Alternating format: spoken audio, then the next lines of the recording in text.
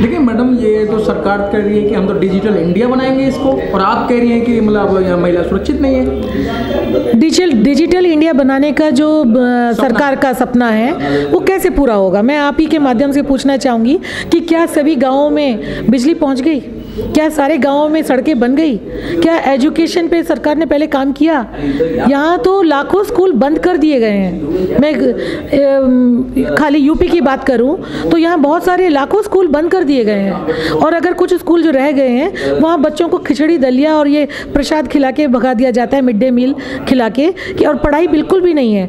अब यह जहाँ पढ़ाई ही ना हो, आठवीं तक का बच्चा जब पास ही नहीं, फेल ही नहीं किया जाएगा, सिर्फ़ पास कर दिया जाता है बिना एग्ज़ाम लिए, बिना एजुकेशन के। तो वो डिजिटल इंडिया कहाँ से बनेगा? वो कंप्यूटर चलाना सीख पाएगा क्या? आप खुद ही सोचिए। डिजिटल इंडिया बनाने के लिए पहले स्कूलों पे ध्यान देना चाहिए। बच्चों को बच्चों की पढ़ाई पे ध्यान देना चाहिए। उनको अच्छे स्कूल मिलने चाहिए। सभी के बच्चे एक जैसे स्कूलों में सरकारी स्कूलों में पढ़ें।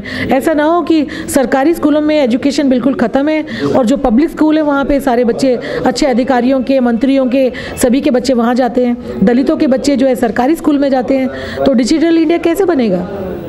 ये सपना तो इनका धराशायी हो गया।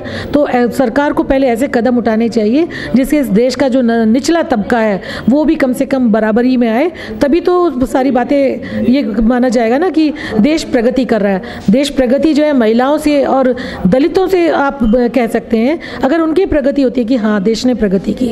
जी। लेकिन मैडम, आज प्रगति का माहौल देखें तो एक अभी, एक हरियाणा से, एक झज्जर, उससे, एक गाँव से एक विश्व सुंदरी बनी है।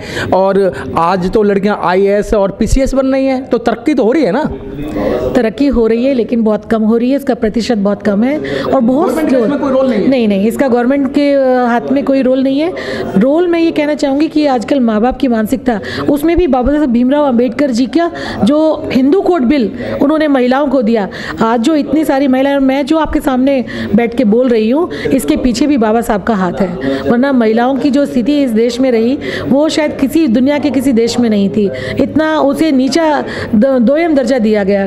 तो महिलाओं की स्थिति, क्योंकि हिंदू कोड बिल आने के बाद काफ़ी सुधरी है। माँ बाप को भी लग रहा है कि जैसे अगर वो बेटों पे ध्यान देते हैं तो परिवार प्रगति करता है। इसी प्रकार अगर बेटियों को पढ़ाते हैं, उन्हें आगे बढ़ने के मौके देते हैं तो वो भी देश में माँ बाप का तो करती हैं, देश का नाम रोशन करती हैं। जी।